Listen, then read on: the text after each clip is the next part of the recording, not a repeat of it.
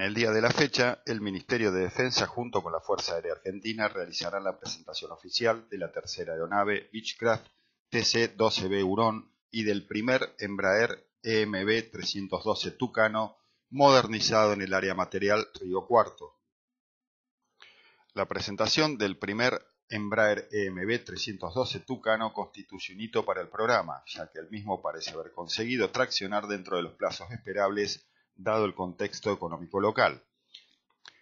La fase inicial del proyecto de modernización de los Tucanos incluye a los prototipos 1 y 2. La diferencia entre ambos unidades será que en el primero la modernización tiene que estar a cargo totalmente y bajo responsabilidad de la empresa contratista Redimec, mientras que en el segundo la modernización también la llevaría a la empresa contratista, pero empleando parcialmente mano de obra a proveer por la Fuerza Aérea Argentina. De acuerdo con el contrato, todas las actividades de instalación del sistema de aviónica de los Tucano, incluyendo desmontaje, instalaciones, modificaciones, integración de nuevos equipos, ensayos, capacitación del personal, entrega de documentación y la entrega y recepción de cada aeronave deberán realizarse en el área material Río Cuarto.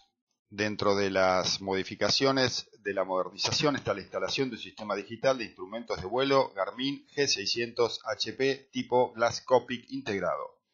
Certificar compatibilizar la aeronave para vuelo NBIS sistema de imagen de visión nocturna.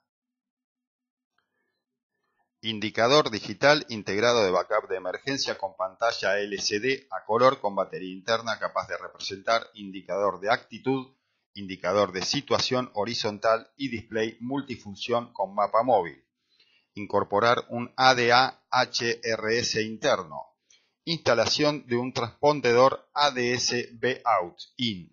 El transpondedor debe presentar una transmisión ADS B-Out de 1090 MHz y permitir mostrar el tráfico de aeronaves en la pantalla EFIS.